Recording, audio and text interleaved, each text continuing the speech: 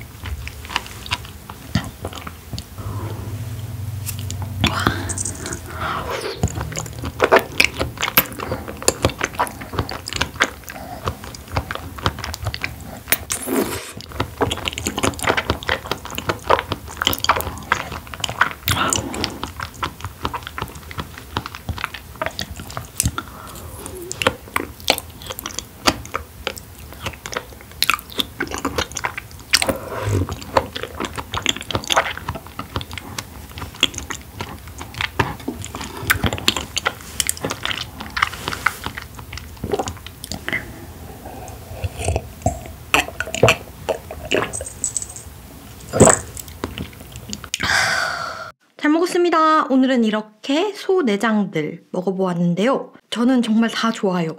지라는 가끔 피맛이 강할 때가 있는데 오늘 진짜 맛있었고요. 오늘 간은 싱싱한데 조금 식감이 부드러운 느낌? 천엽은 그냥 별맛 없이 참기름 맛으로 먹는 느낌인데 식감이 좋아. 제 최애 소 내장은 등골인 것 같습니다. 그 다음 간. 천엽이랑 지라는 그냥 가끔 먹으면 맛있는 정도? 그럼 여러분 오늘도 시청해주셔서 감사합니다. 안녕.